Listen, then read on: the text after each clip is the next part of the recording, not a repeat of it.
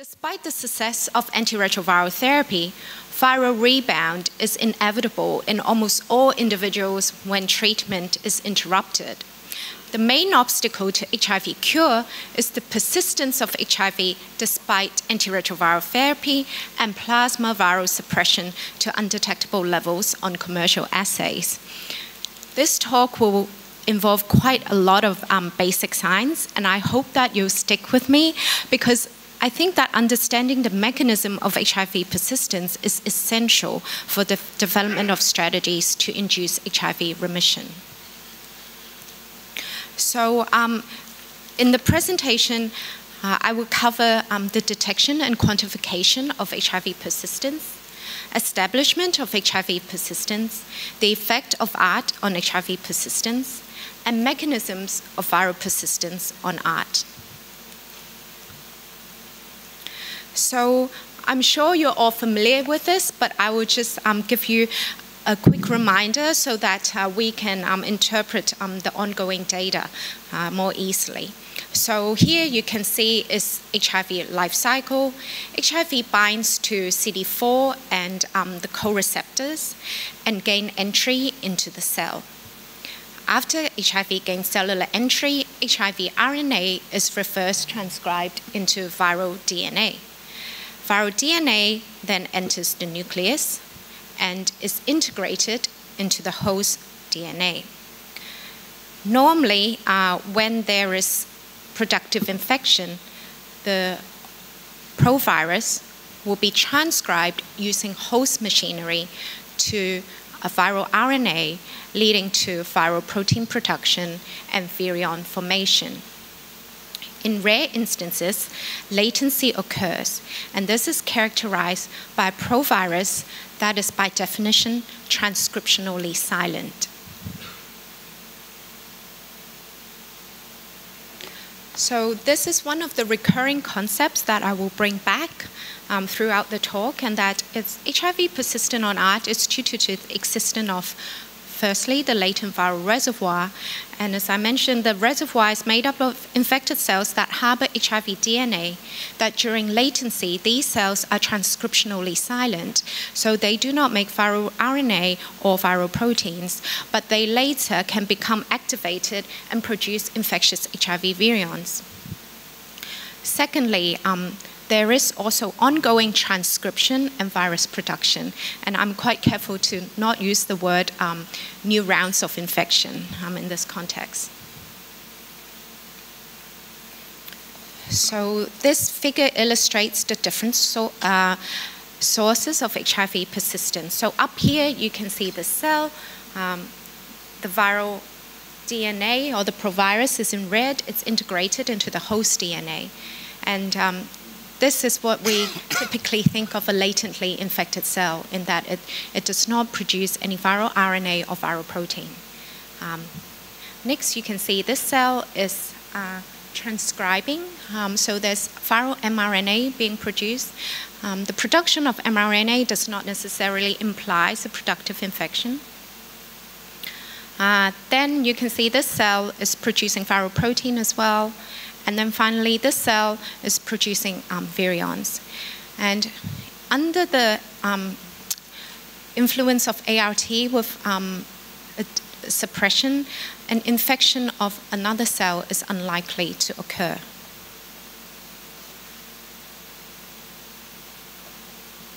So after these broad concepts, I'll go into more detail, firstly on detecting and quantifying HIV persistence. So um, there are many methods to quantify the HIV reservoir. I'll just highlight um, the most commonly used methods that uh, we tend to see in the literature. So firstly, um, the viral outgrowth assay. So the viral outgrowth assay is um, thought of as the gold standard um, to quantify the latent HIV reservoir.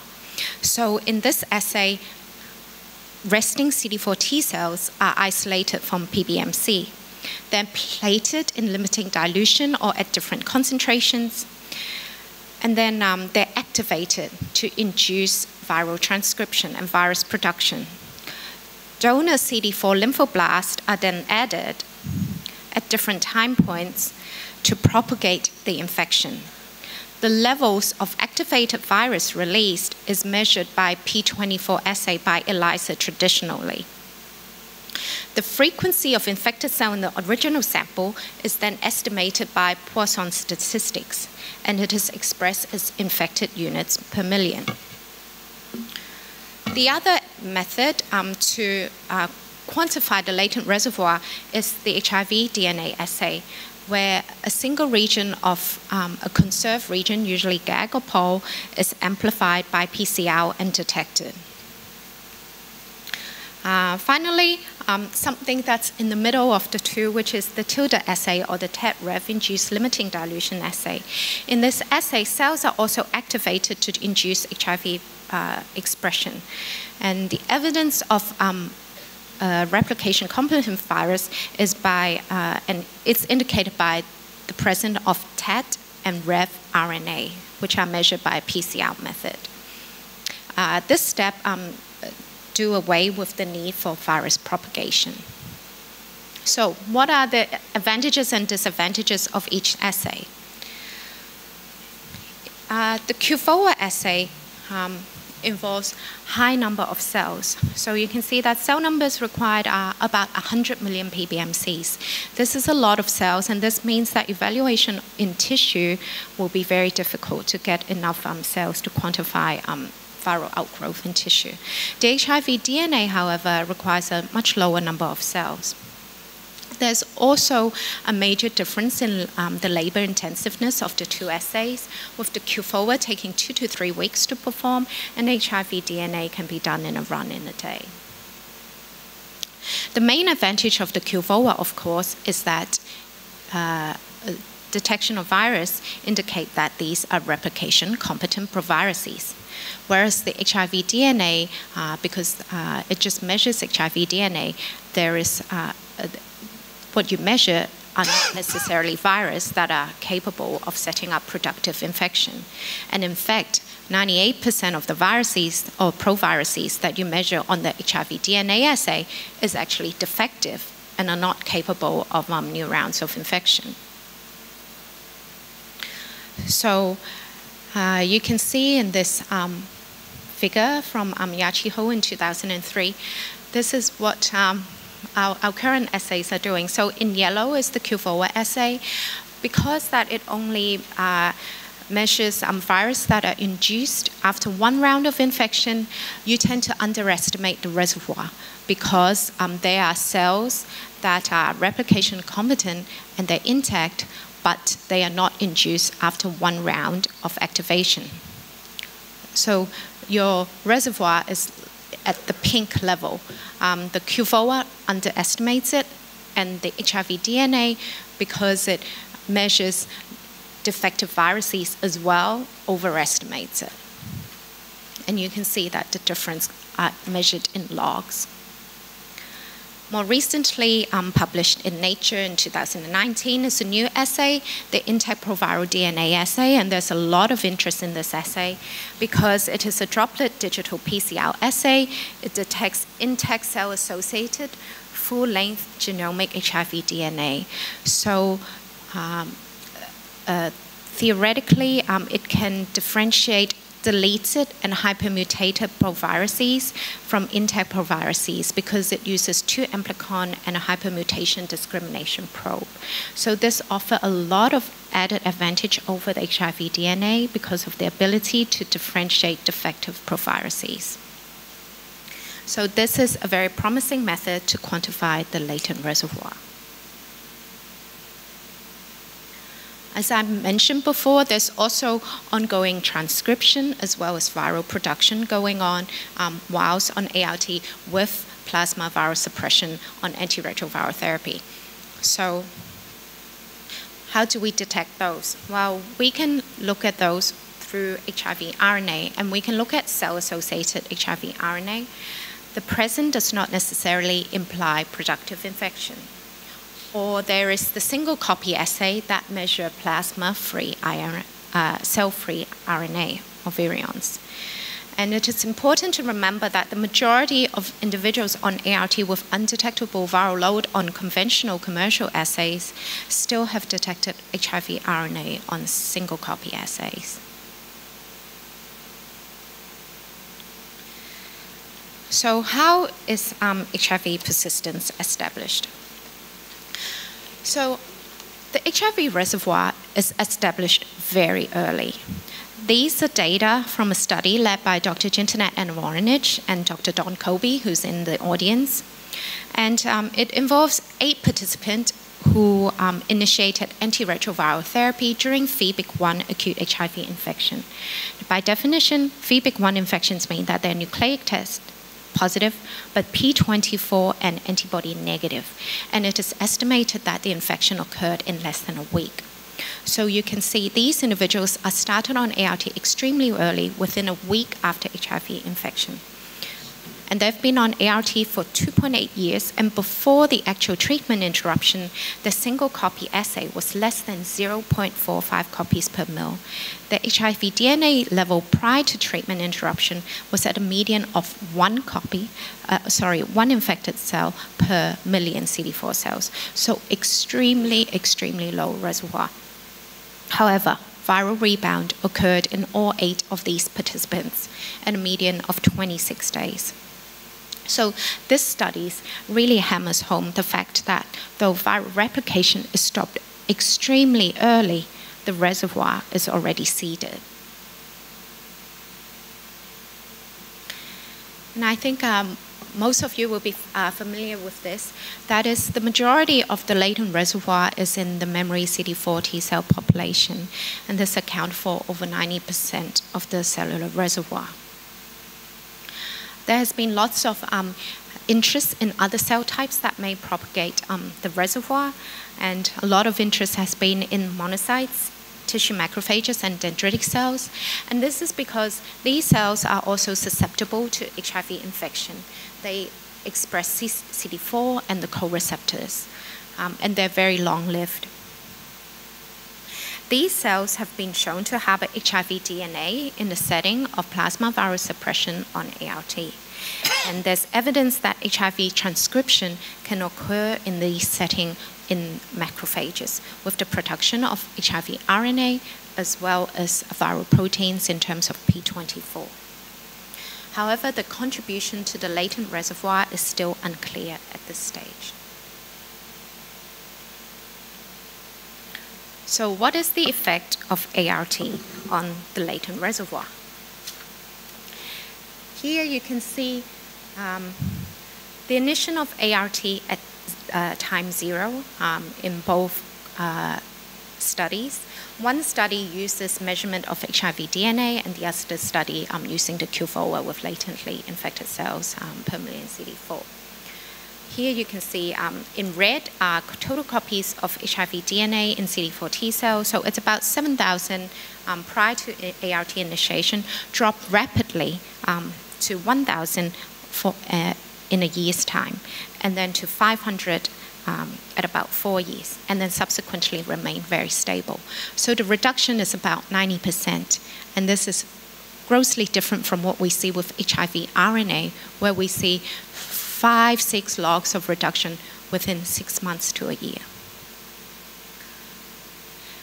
Similarly, um, using the Q4, you can also see that after um, ART initiation, um, especially after the first year, the decay of the reservoir is extremely slow. So the reservoir is very, very stable. The half-life of the reservoir is estimated to be 44 months uh, in individuals on ART with plasma virus suppression. So this means that 73 years of ART is required to eradicate a reservoir of 1 million cells. So these are data um, from individuals who infect, uh, initiated antiretroviral therapy during chronic HIV infection.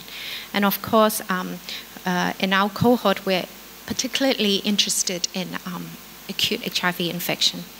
So these are data um, from studies led by, again, Dr. Jinternet Anawaranich and Dr. Merlin Robb, um, from MHLP uh, involving two different cohorts, both in Thailand, uh, and the RV217 cohort also involved sites in Africa. And here you can see the two study, the RV217 study, where participants are not initiated on antiretroviral therapy, and the RV254 study, where participants are initiated on antiretroviral therapy, usually within one or two days after the diagnosis of acute HIV infection. So what I want to point out is that prior to ART initiation, both cohort had similar level of HIV DNA. Now, without treatment, the HIV DNA increased very rapidly, uh, and then it, it really plateaus and doesn't change much. With ART initiation, you can see that there's a rapid drop in HIV DNA that reached to very low levels, and the divergence between the treated and untreated group occur early. So even though, as I mentioned before, the early ART does not eliminate the reservoir, however, it does reduce the size of the reservoir. So now I'll home in on what, what really happens to the reservoir after um, ART initiation. So what tissues can we identify HIV persistence? Basically, um, we can find HIV in all types of tissue in the body.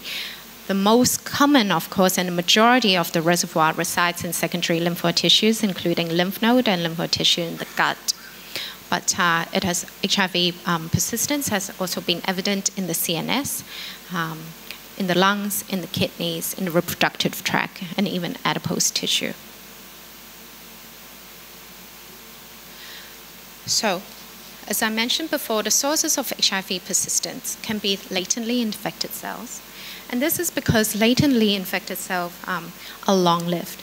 And um, so to target these cells, potentially uh, we may use the kick and kill strategy for the kick to activate virus and kill mechanisms involving immune mechanism to get rid of the expressed virus. However, um, it's not as simple as that. Um, there's also clonal expansion of latently infected cell. So this is one latently infected cell, but due to um, homeostatic proliferation or antigen stimulation or integration in genes that control growth and development of cells or cancer associated genes, these cells actually proliferate. So um, you get more and more latently infected cells. And these cells, importantly, have identical, identical HIV sequences and the same integration site. And this is because they're from the same clone. So clonal expansion is actually very important. It accounts for 50% of the inducible replication competent HIV reservoir. Clonally expanded virus can be intact and infectious, and these clones have been shown to be a source of initial rebound viremia during analytic treatment interruption. Now, so how do we um, get rid of these clones? Um, potentially uh, anti-proliferative therapy may be useful, and there's certainly um, uh, clinical trials at, going on at the moment that looks at the effect of mycophenolate in reducing proliferation and targeting um, the clones. And as I mentioned before, 80% um, of participants on ART still have persistent viremia measured by single copy assays. So what are the sources of these then? These are obviously not latent by definition because there's ongoing transcription. So what's going on? Well, the potential sources are ongoing cycles of viral replication and infection. This is quite controversial. Um, it may be due to inadequate ART potency or inadequate penetration at sanctuary sites. The other possibility is ongoing viral production from integrated proviruses, but ongoing cycles of infection are blocked by ART. So you may think, well, why is it important? Like, why, why do we need to go into all these details? What's the point of understanding this? Well, I think it's important because um, the, the ways of targeting um, these mechanisms are very different. So if the ongoing cycles of viral replication and infection is due to inadequate ART potency or penetration, then the focus should be to improve the ART. However, if the ongoing virus production is from clones of integrated proviruses, these proviruses are not targeted by the existing immune responses. Furthermore, latency reversal agents will also not affect these population because these cells are not latent, they're already actively transcribing.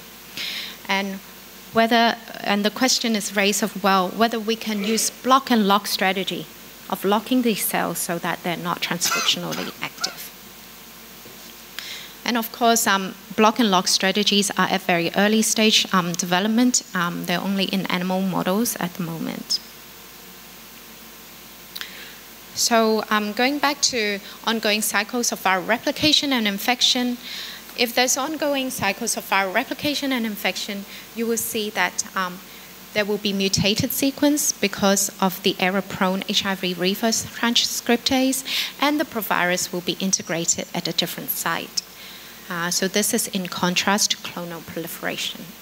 Ongoing cycles of viral replication and infection is unlikely in the peripheral blood, and this is because of data that shows that emergence of new variants whilst on ART is rare, and the majority of studies shows that no reduction in the level of persistent of viremia with treatment intensification.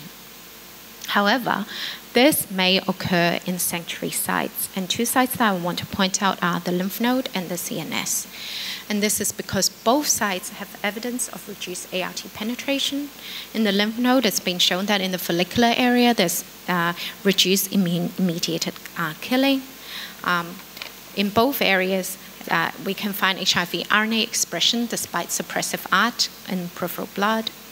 And finally, um, there's evidence of sequence evolution on ART. So it may be possible that there's ongoing viral replication in sanctuary sites, but uh, we don't really see uh, much evidence of that reflected in the peripheral blood. So the second option is ongoing virus production from clones of integrated proviruses. So it's been shown that clonally expanded intact proviruses can produce sufficient virus to cause detectable low-level viremia.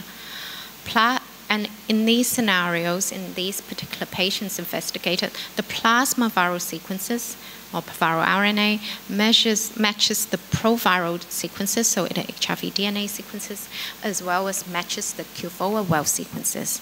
So what, what does that mean? Well, that sort of translates to the fact that clonal proviruses are replication competent. They can be induced in the QFOA to produce viruses, and these viruses um, are reflected uh, in uh, mRNA, um, matching mRNA sequences in the blood.